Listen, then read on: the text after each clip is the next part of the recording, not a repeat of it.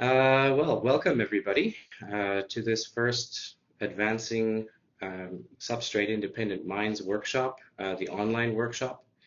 Um, I think like every new workshop, it deserves some introduction, a little bit of explanation what it's about, why we're here. And so I'm going to basically devote my talk to that. And I hope that you can all throw in questions and we can turn it into a discussion as I go along. So with that, the first slide. So I'm going to talk about a couple of things. First of all, um, what is the objective? Uh, what are we all here for? Uh, what is advancing substrate independent minds? Why do we even have that title? And why do we have this group, this group that's been discussing for a while online? And then what are the action points? What are the things we're actually going to be doing?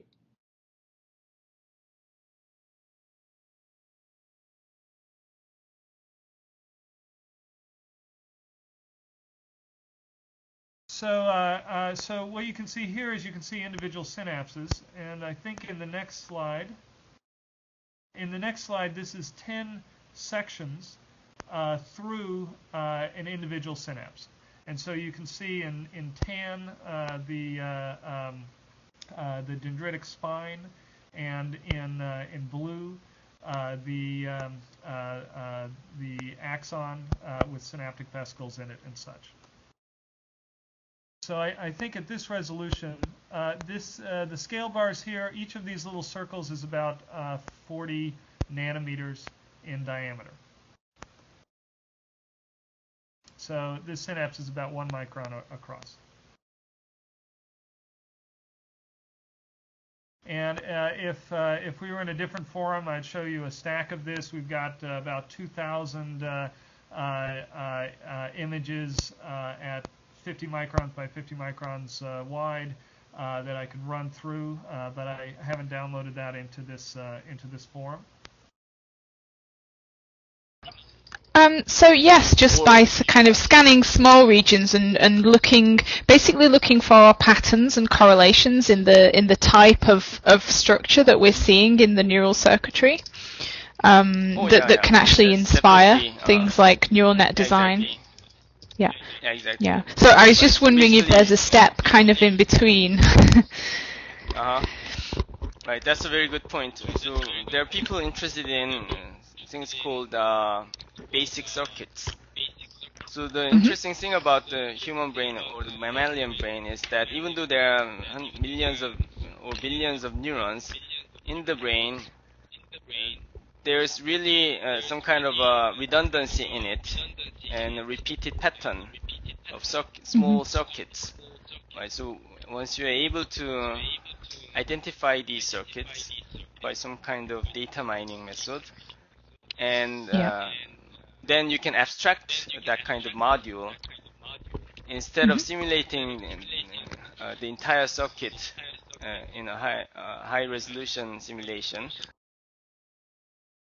practical applications of this.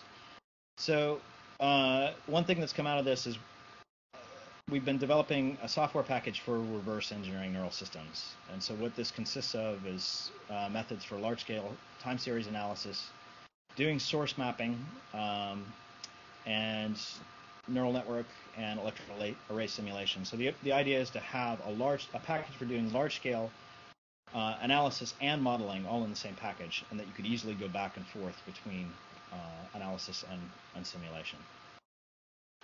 Um, the other idea for practical applications is to come up with so if you if you can do this, if you can auto automatically emulate a given network of neurons, you might be able to, to do automation of communications protocol for uh, BMI devices. So that the obvious targets would be sensory systems right now, things like cochlear implants, um, but possibly other systems as well. Okay, so all right, what this is all leading up. So this is my perspective on the roadmap, and, and I have I, I, share with Sim um, the idea that gradual replacement is probably the way I think things are going to go, simply because this is the way that the technology is going to develop anyway.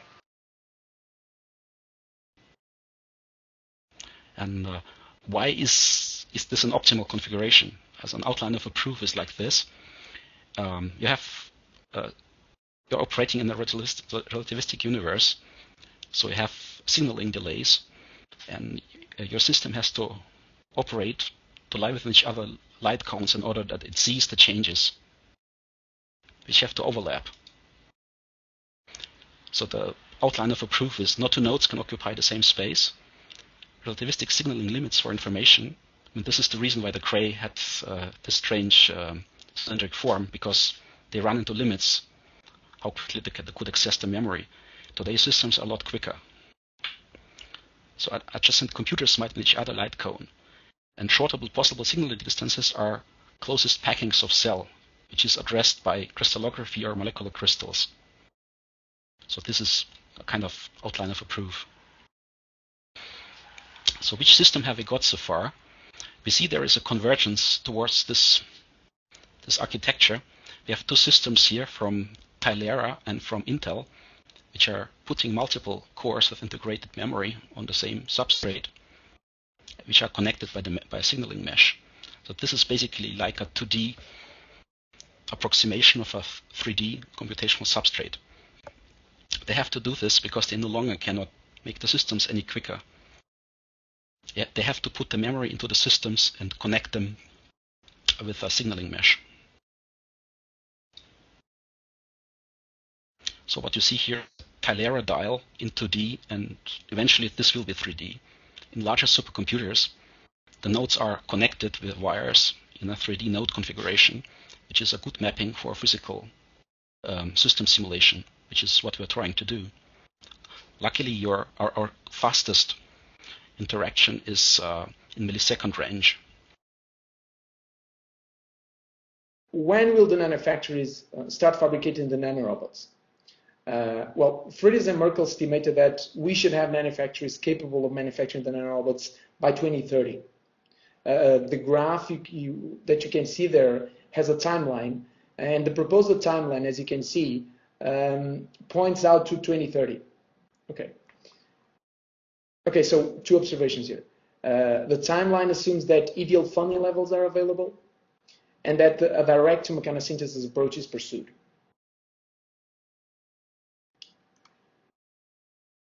Okay, so 2030. Uh, well, if I was sitting on that side, my question would be, well, how do we know that the timeline is correct?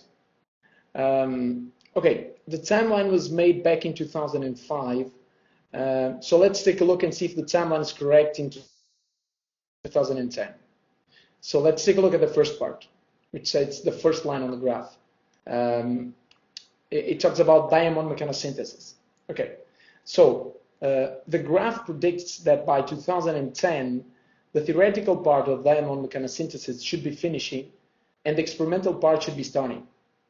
So the question is, is this true? And the answer is yes. Um, okay, here's one. Again, thank you all so very much for joining us and participating so well. It's obvious that, uh, I think it's obvious that we're highly motivated, enthusiastic, and basically intoxicated with ASIM. Um, please feel free to hang around after the end, though I'm sure many of us have other things that we need to tend to soon after this long and very productive workshop. Thanks again so much. It was a great workshop, awesome, far beyond my best expectations for the first workshop. Thanks a lot.